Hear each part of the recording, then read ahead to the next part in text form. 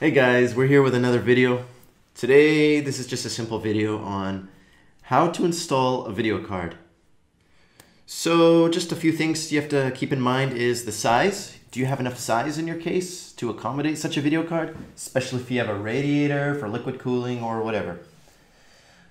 Okay, so you purchased your video card. Here's your PC and your video card is out. So where do you put it? How do you put it in?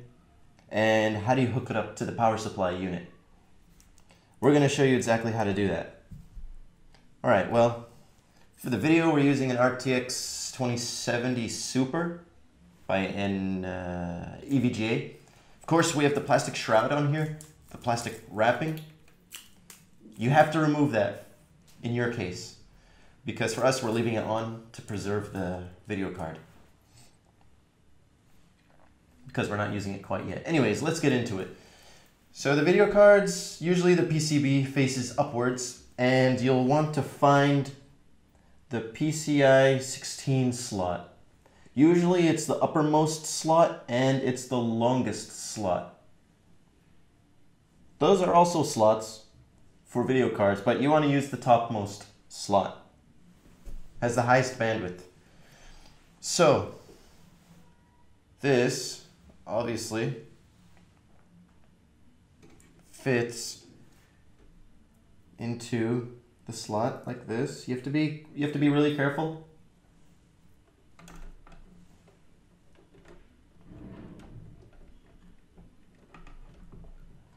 And you'll know it's in when you hear a clicking noise.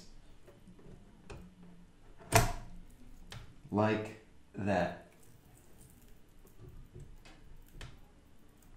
Now notice it kind of moves around. That's where you have to screw it into place. So usually on your cases, on the back where the video card goes, there'll be some kind of metal bracket with screws in it. Just remove the screws, put the video card in, and then screw it. You'll see exactly where it fits into place. It's can't miss it. So let's just get into that real quick. Let's see.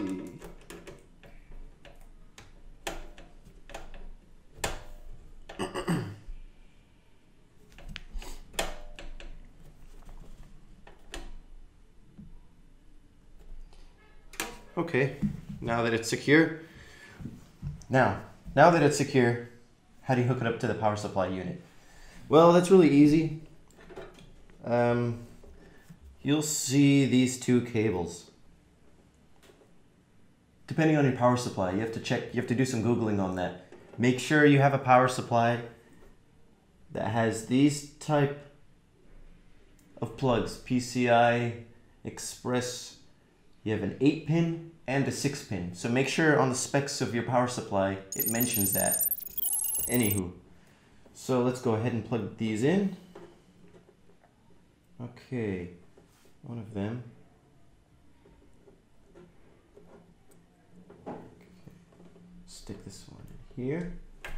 Now again, you'll hear a clicking. Not really a clicking, but you'll feel a, you'll feel that it's in all the way.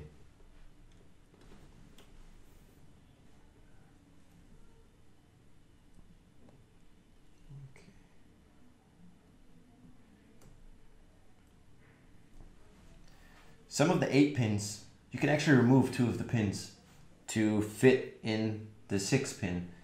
So you slide it up and out like that. And now we have a six pin from an eight pin. There we go. It's plugged in